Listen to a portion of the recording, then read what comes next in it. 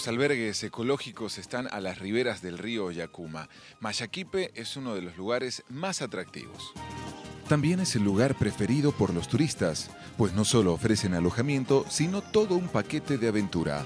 Podemos ver delfines, podemos hacer la caminata, es posible ver un jaguar, tenemos también la pesca de piraña, tenemos para ver aves de distintos lugares, eh, de distintas especies y tenemos los monos de distintos de distintas especies. En Machaquipe todo está en su lugar y en armonía con el medio ambiente, pues al ser un albergue ecológico, el tratamiento de aguas servidas y la basura debe ser estricto.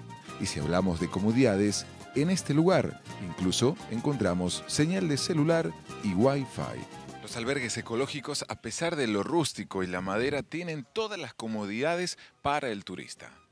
Tenemos, estamos preparados para todo nivel, ¿no? Eh, tenemos habitaciones con baño compartido, tenemos habitaciones con baño privado. Personal capacitado, infraestructura adecuada y armonía con la naturaleza hacen de estos albergues un atractivo lugar para visitar y disfrutar.